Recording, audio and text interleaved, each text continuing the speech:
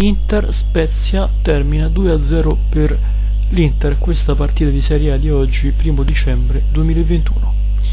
L'Inter va a coronare un sogno, va a coronare una, chiamiamola, importante partita per lui e riesce a vincere. Due i gol messi in cassetto al sicuro dove l'Inter sfodera veramente le sue armi belle, le sue armi più elevate, azzardo a dire principali dunque una coppia di gol meravigliosa che segna veramente grandi emozioni. A segnare è stato Roberto Gagliardini al 36 minuto di gioco del primo tempo e il secondo gol al secondo tempo al 58 minuto di gioco di Lautaro Martinez, vi ricordo, su calcio di rigore.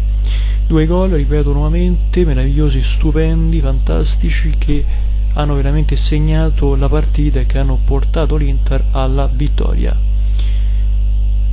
I nerazzurri riescono nella partita, lo Spezia lo vedo un po' giù distante e nonostante il valido impegno che mette in campo e nel primo e nel secondo tempo il risultato non lo premia. Detto ciò, grazie a tutti, il video termina qua, iscrivetevi al canale Narratore Italiano.